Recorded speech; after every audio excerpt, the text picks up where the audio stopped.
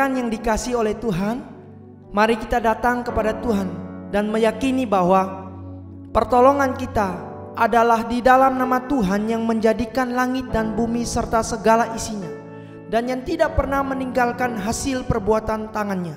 Kiranya Allah Tritunggal, Allah Bapa, Putra dan Roh Kudus menyertai ibadah kita dari awal hingga pada akhirnya. Amin.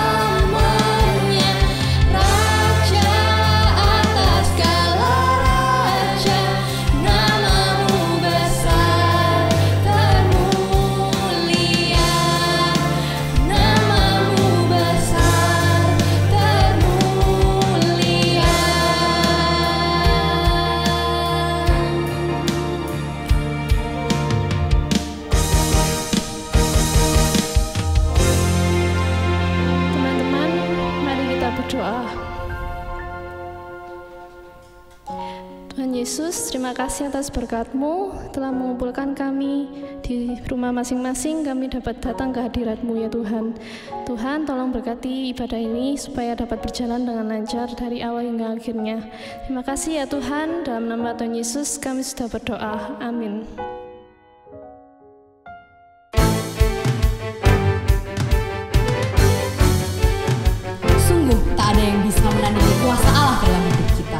kuasanya jauh melebihi penguasa di dunia.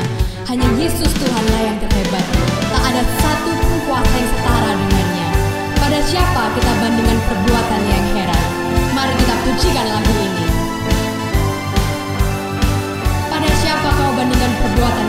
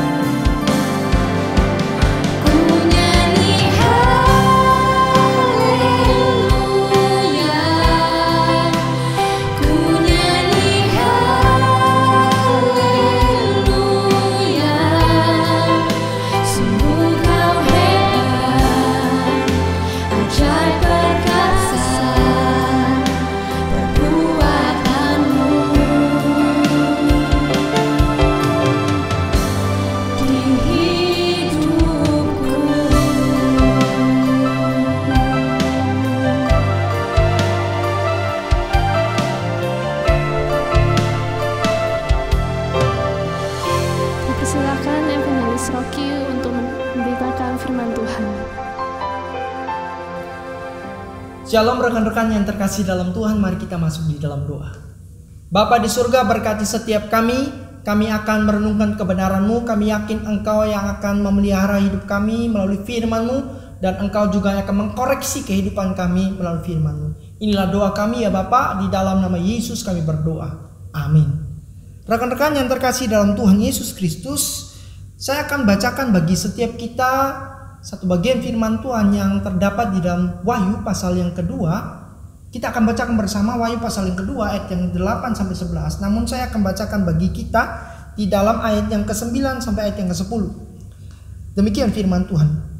Aku tahu kesusahanmu dan kemiskinanmu, namun engkau kaya dan fitnah mereka yang menyebut dirinya orang Yahudi, tetapi yang sebenarnya tidak demikian. Sebaliknya mereka adalah jemaah iblis ayat yang ke-10 jangan takut terhadap apa yang harus engkau derita. Sesungguhnya iblis akan melemparkan beberapa orang dari antaramu ke dalam penjara supaya kamu dicobai dan kamu akan beroleh kesusahan selama 10 hari.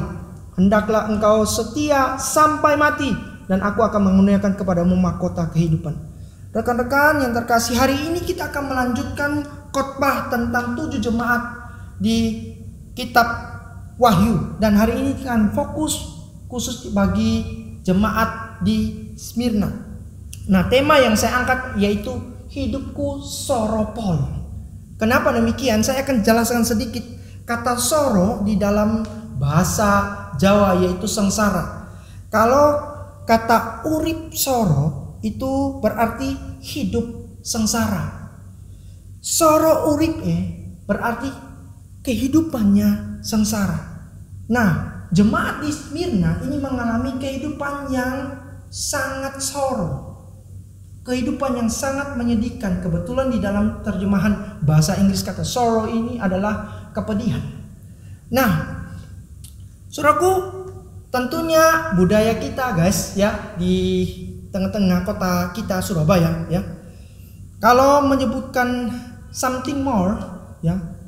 When we uh, say something more ya, kita kalau mau menyebutkan kata enak banget ya atau kata manis banget kita cukup menyebutkan enak mau manis. Tapi kalau kita mau menyebutkan something more and more ya mau manis Paul Buena Pol. Itu tidak perlu sebutin panjang-panjang, panjang-panjang ya. Kita cukup sebutkan itu. Nah, saudaraku yang terkasih, jemaat di Smyrna ini mengalami kepedihan hidup suworopol ya. Buktinya di dalam ayat yang ke-10 dikatakan jangan takut terhadap apa yang harus engkau derita. Hendaklah engkau setia sampai mati. Dan aku akan menguniakan kepada mahkota kehidupan. Nah saudaraku yang dikasih oleh Tuhan Yesus Kristus Bagaimana dengan kehidupan seorang anak remaja pada tanggal 30 Desember 2016 Kathleen Nicole Davis melakukan siaran langsung menggunakan aplikasi LiveMe dan dia mengungkapkan tentang masalah hidupnya yang saat itu sedang trauma akibat kekerasan fisik, mental maupun seksual yang dilakukan oleh ayah tirinya. Kemudian pada menit ke-21, Kathleen mengucapkan goodbye. Dan sesaat setelah itu ia gantung diri di depan kamera ponselnya. Saudaraku, apa yang dialami oleh Kathleen pada tahun 2016 tentang kerasnya hidup ini dan pergumulan yang dihadapi oleh anak muda zaman saat ini adalah mirip dengan kehidupan jemaat di Smyrna. Jemaat di Smyrna juga mengalami tekanan yang begitu sulit, tekanan yang membuat mereka tidak bisa melakukan banyak hal seperti aktivitas normal mereka. Saudaraku, suatu ketika saya pernah dihubungi oleh anak pemuda ya long time ago mereka menghubungi saya. Salah satunya mengatakan begini, kok tolong kok. Saya bilang kenapa? Teman saya. Anak pemuda ini mengatakan, teman saya.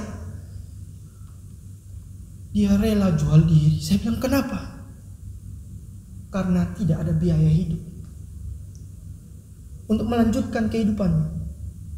Dia rela jual diri.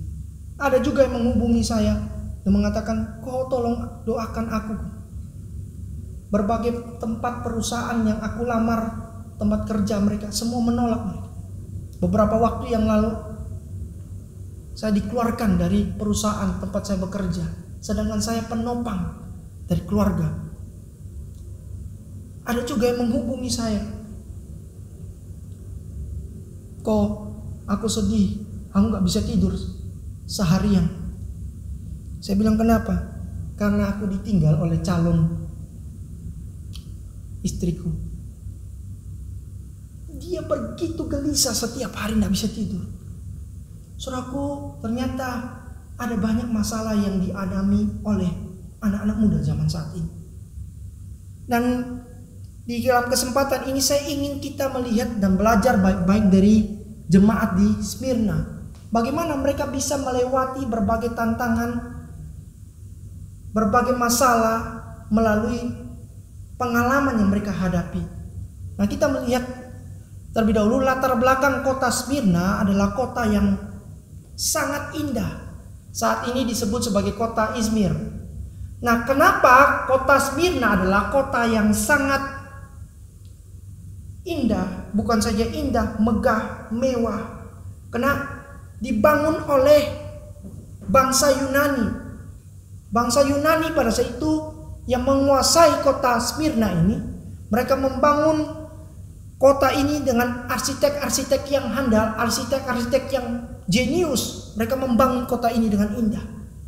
Nah, saudaraku, memang kalau mau dibandingkan dengan Efesus, Efesus ini kota juga yang indah, tapi kota ini memang Efesus lebih besar daripada kota Smyrna. Tapi kalau mau dibilang indahnya, kota Efesus kalah indah daripada kota di Smyrna.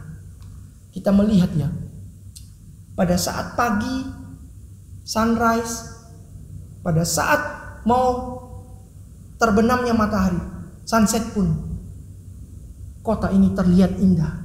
Siang juga oke, malam juga oke. Kota ini begitu mewah dan indah. Saudaraku yang dikasih oleh Tuhan Yesus Kristus, Nah kota ini adalah kota yang bukan saja indah tetapi kota ini adalah kota perdagangan yang sangat kaya. Kota pengekspor minyak wangi. Kota yang dalamnya dibangun kuil-kuil penyembahan kepada dewa Yunani, Dewi Roma, kemudian Kaisar Tiberius juga kuil-kuil dibangun pada saat itu. Bahkan pada saat itu ada banyak sinagog-sinagog yang dibangun di sana. Kenapa demikian? Karena kota ini saking indahnya, banyak orang Yahudi yang pergi ke sana, tinggal di sana. Bahkan orang-orang Yahudi menurut Steve Craig, dia mengatakan orang-orang Yahudi paling banyak suka tinggal ya dari tujuh jemaat ini paling banyak orang Yahudi berada di kota Smyrna karena kota ini begitu indah. Bahkan pada saat kota ini dibangun, ya, pada saat kota ini dibangun, orang-orang Yahudi menyumbangkan 10 ribu dinar untuk membangun kota ini. Maka banyak sekali juga ada sinagog-sinagog tempat tempat sembahyang orang-orang Yahudi. Nah, kota ini juga penuh dengan uh, pelabuhan yang sangat strategis. Nah, nama Smyrna ini berasal dari kata mur, yaitu bahan pembuat minyak wangi. Nah, kata mur artinya pahit rasanya. Ya, mirip dengan keadaan psikis dan mental fisik dari jemaat di Smyrna yang mengalami keterpurukan mental, keterpurukan fisik. Ya. Saudaraku yang dikasih oleh Tuhan Yesus Kristus. Nah, problem yang lebih pelik lagi, saudaraku, jemaat di Smyrna pada saat itu bukan saja di bawah tekanan negara Yunani, tapi di bawah tekanan negara Romawi pada saat itu muncul kaisar yang sangat ditakuti pada saat yaitu Kaisar Tiberius. Maka dibangun kuil khusus untuk Tiberius. Semua warga harus menyembah Kaisar Tiberius dan menganggap Kaisar Tiberius adalah Tuhan. Jadi orang-orang yang sudah mengakui Kaisar Tiberius sebagai Tuhan, mereka harus masuk ke dalam kuil dan mempersembahkan korban bakaran ya atau persembahan dan mengakui bahwa kaisar adalah Tuhan. Setelah itu mereka boleh keluar dan mulai menjalani aktivitas mereka sebagaimana mestinya, sebagai sebagaimana normalnya atau biasanya. Saudaraku yang dikasih oleh Tuhan Yesus Kristus. Nah, jemaat di Smyrna ini adalah jemaat yang tetap konsisten mereka tetap menyembah Kristus sebagai Tuhan. Mereka tidak mau menyembah Kaisar Tiberius di kuil Tiberius ini. Sehingga mereka mengalami tekanan yang luar biasa. Konsekuensinya hidup mereka begitu soro, soropol. Ya. Saya akan menjabarkan apa sih problem yang pelik yang mereka alami. Yang pertama, mereka mengalami kesusahan. Di dalam ayat yang ke-9 pasal yang kedua dikatakan aku tahu kesusahan. Bahkan di dalam ayat yang ke-10 dikatakan jangan takut terhadap apa yang harus engkau derita. Kata kesusahan di dalam ayat ini menggunakan kata Yunani yaitu klipsis. Dan kata ini tidak menunjuk pada kesusahan yang biasa saja atau ringan. Seperti kesusahan karena tidak mempunyai uang, kesusahan karena ditinggal pacar dan sebagainya. Enggak. Kata ini menggambarkan sebuah problem yang begitu dalam dihadapi oleh jemaat di Smyrna ini. Kenapa demikian? Karena kata ini mewakili keadaan mereka yang kehilangan harta benda mereka. Rumah mereka dijarah, rumah mereka dibakar, kemudian mereka dipukuli, dicambuk, bahkan mereka dibunuh dengan pedang-pedang yang ada. Dan mereka dilawankan dengan binatang buas. Mereka diadu dengan binatang buas. Nah saudaraku yang terkasih, jemaat di Smyrna demi iman kepada Kristus, mereka tidak mau kompromi. Selain itu mereka juga mengalami kemiskinan saudaraku. Aku tahu kesusahanmu dan kemiskinanmu di dalam ayat yang ke-9. Ya. Jadi jemaat di Smyrna ini bukan saja mengalami kesusahan tapi mereka juga mengalami kemiskinan. Bukan gereja saja yang mengalami kemiskinan tapi jemaat mereka juga semuanya berada di dalam garis kemiskinan. Karena semua harta mereka diambil oleh pemerintah. Saudaraku yang dikasih oleh Tuhan Yesus Kristus, di dalam bahasa Yunani ada dua kata yang sama. Ya.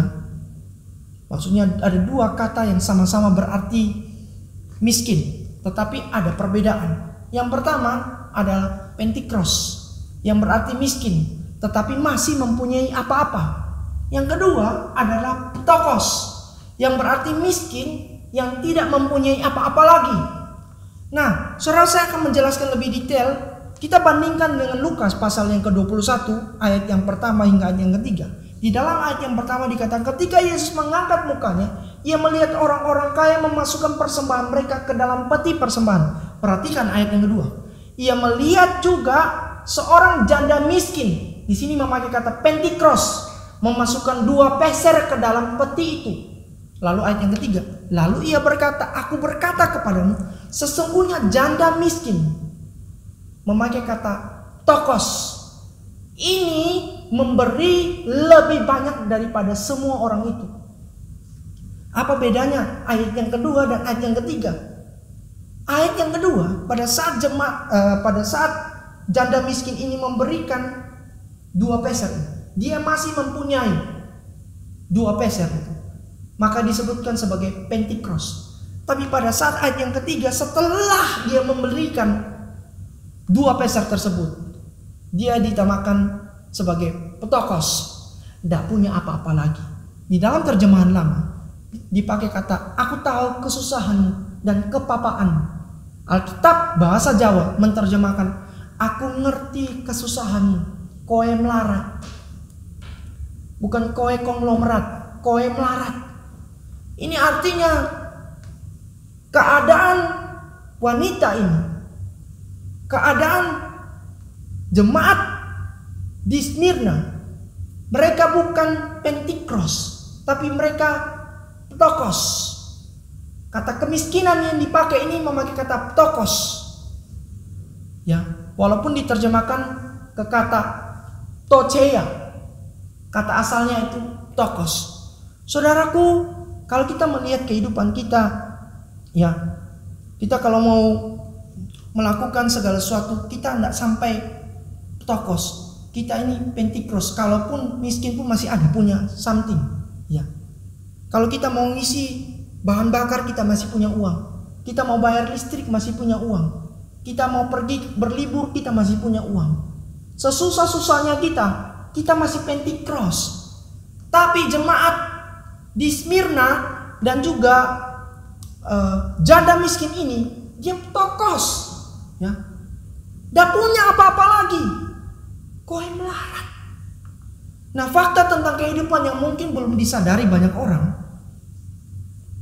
jika kamu memiliki makanan di kulkasmu, baju di tubuhmu, atap di atas kepalamu, dan tempat tidur untuk tidur, kamu termasuk ke dalam 75 persen populasi manusia yang kaya di dunia. Jika kamu memiliki uang di dompetmu dan bisa pergi ke mana pun kamu mau, kamu termasuk ke dalam 18 persen populasi orang kaya di dunia. Dan jika kamu hidup hari ini dengan lebih banyak kesehatan, daripada penyakit. Kamu lebih beruntung daripada jutaan orang yang sedang sakit yang tidak dapat bertahan dari penyakit dan mungkin akan mati minggu ini. Dan saudaraku yang terkasih dalam Tuhan Yesus Kristus, jika kamu bisa membaca pesan ini dan mengerti, kamu lebih beruntung dari jutaan orang di dunia yang tidak bisa melihat, tidak bisa membaca, dan mengidap keterbelakangan mental. Saudaraku yang terkasih dalam Tuhan Yesus Kristus. Tadi kita sudah melihat latar belakang keadaan jemaat di Smyrna. Kotanya kaya, jemaatnya miskin. Ya. Lalu mereka punya problem. Kenapa mereka miskin dan susah? Karena mereka tidak mau menyembah Kaisar Tiberius. Namun sekarang kita melihat yang terakhir, respon mereka apa? Respon mereka, Alkitab mencatat mereka kaya dalam iman. Ayat yang ke-9 dikatakan, Aku tahu kesusahanmu dan kemiskinanmu, namun engkau kaya. Nah saudaraku, kata kaya di sini berbanding terbalik dengan keadaan jemaat di Laodikia. Di dalam pasal yang ketiga, kitab Wahyu ayat yang ke-17, itu menggambarkan jemaat di Laodikia itu mereka kaya secara materi tapi miskin secara rohani. Terbalik dengan keadaan jemaat di Smyrna yang Kaya secara iman walaupun miskin secara materi. Saudara kita yang jemaat yang mana? Kita jemaat Laodikia atau kita jemaat Smyrna? Saudara kita coba pikirkan baik-baik. Betapa kita bersyukur semua hal Tuhan izinkan terjadi supaya kita datang mengingat Tuhan itu baik kepada setiap kita. Kita masih punya uang untuk beli kuota bisa online, tapi kita juga nggak mau online. Lebih suka main game kan kita? Gunakan kuota untuk main game daripada apa? Daripada kita nonton online. Mengikuti ibadah. Bahkan kita katakan tidak punya waktu. Tidak punya waktu untuk beribadah.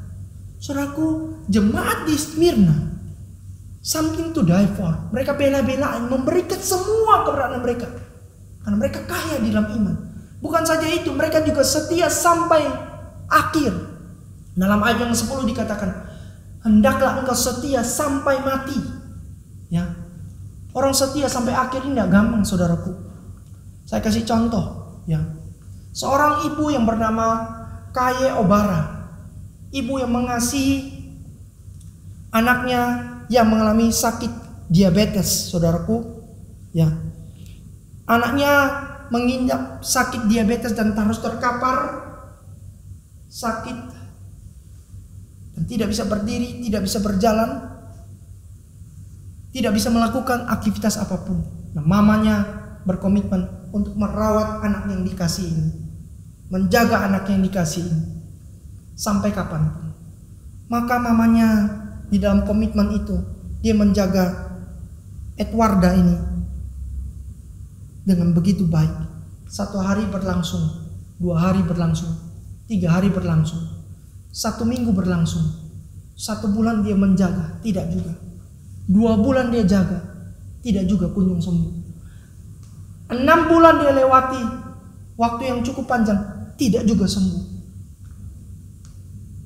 Satu tahun dia lewati, Edwarda tidak juga sembuh. Dua tahun, tidak juga sembuh. Tiga tahun, dia rawat dengan baik, tidak juga sembuh. Lima tahun saudaraku, tidak juga sembuh. Sepuluh tahun, waktu yang cukup panjang, tidak juga sembuh. Pada saat itu Mulai anak ini sakit, Edwarda sakit tahun 1970. Di tahun ke-15 mamanya menanti. Tidak juga kunjung sembuh. Di tahun 1985, 15 tahun mamanya menanti tidak juga sembuh. Di tahun ke-20 mamanya menanti dengan baik tidak juga sembuh. 25 tahun mamanya menanti tidak juga sembuh. 30 tahun mamanya mendampingi tidak juga sembuh. Sampai akhirnya di tahun ke-38 tepat pada saat mamanya berusia 80 tahun. Tahun 2008. Jadi Edward ini sakit dari tahun 1970. Mamanya mengembuskan napas terakhir di tahun 2008 setelah 38 tahun mamanya meninggal lebih dahulu dari anaknya. Setia mendampingi sampai akhir. Dia mencintai akan anaknya. Mendampingi sampai akhir. Kaya Obara dan jemaat di Smyrna adalah orang-orang jemaat yang setia. Kristus pun begitu setia kepada setiap kita.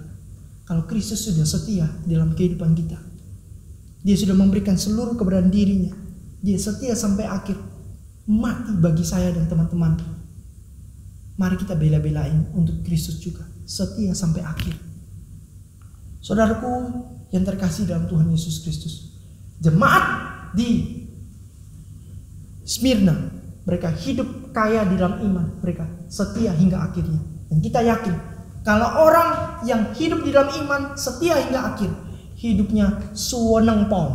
Ya. Kesimpulan, jemaat Smyrna yang begitu setia. James mengatakan dari ketujuh gereja itu tidak ada yang lebih tinggi dari penilaian Tuhan dari gereja ini. Tetapi tingkat kehidupan lahiriah gereja ini adalah yang terburuk dari semua. Kemiskinan dan penganiayaan adalah bagian yang mereka alami dan penjara serta kematian menantikan mereka.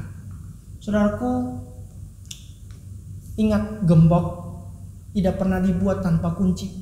Demikian Tuhan tidak pernah mengizinkan sebuah masalah tanpa solusi.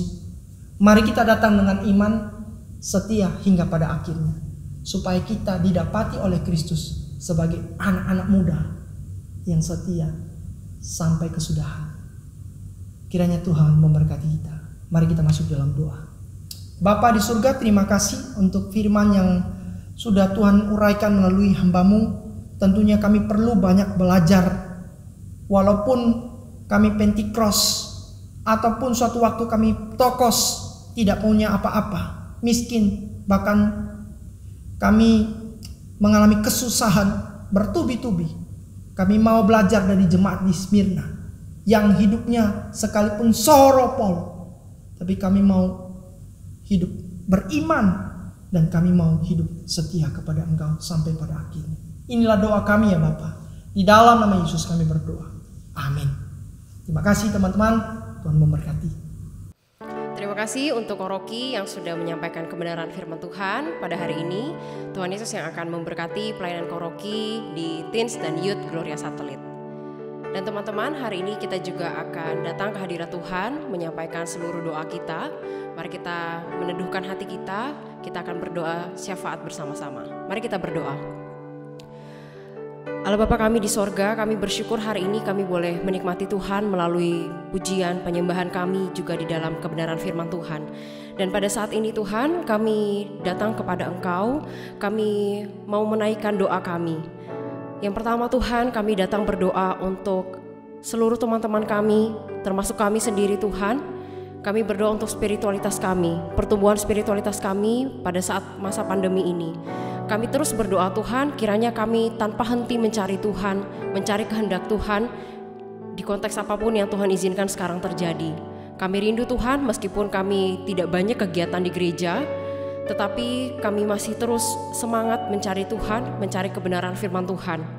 Dan kami berdoa Tuhan, kiranya Engkau memberikan kami pengalaman-pengalaman spiritualitas yang baik, sehingga Tuhan kami tidak semakin padam apinya kepada Engkau, tetapi kami semakin berkobar bagi Tuhan.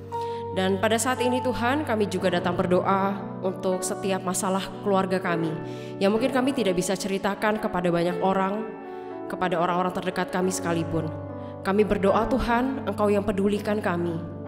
Engkau yang berikan kami kekuatan, memberikan kami hikmat untuk kami dapat menyelesaikan setiap masalah yang Engkau izinkan terjadi.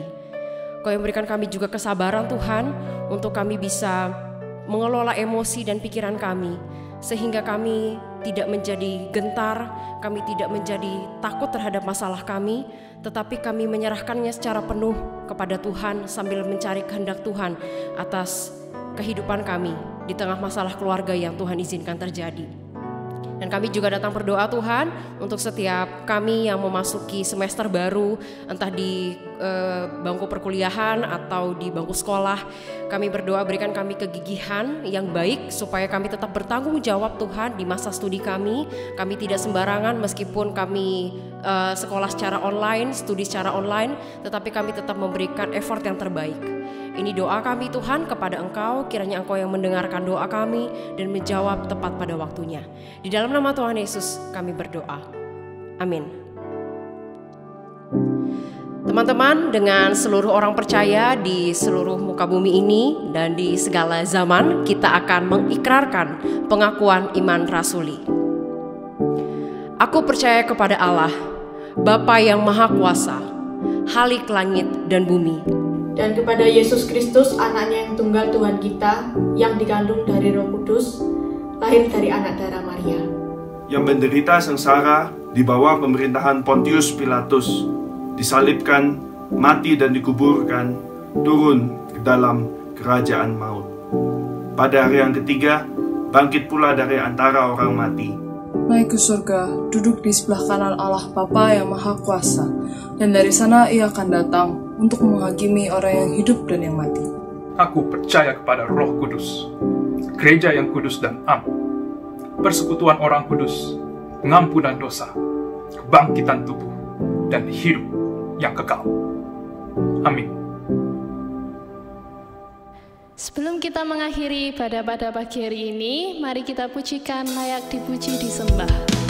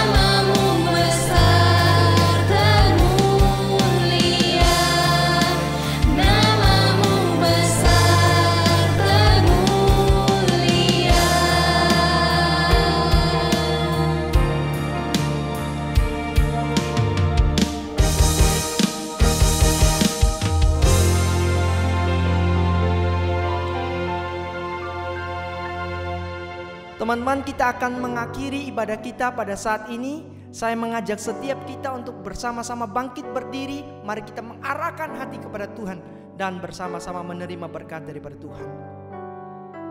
Kiranya kasih yang agung Kasih yang mulia Kasih yang sempurna Kasih yang kekal dari Allah Bapa. Anugerah keselamatan dari Tuhan kita Yesus Kristus. Pimpinan, penyertaan, topangan dari Allah Roh Kudus akan menyertai seluruh kehidupan kita. Mulai dari saat ini sampai Maranatha, bahkan sampai selama-lamanya. Amin. Teman-teman yang terkasih dalam Tuhan, Happy Sunday. Sampai jumpa di dalam online service berikutnya. Tuhan Yesus memberkati. Bye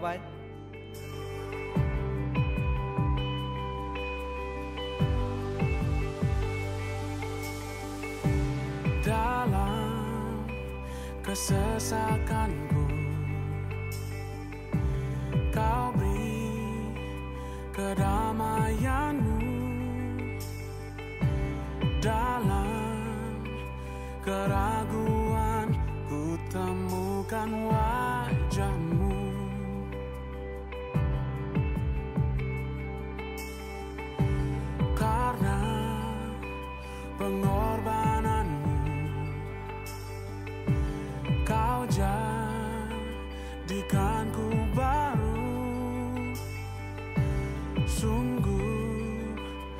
ku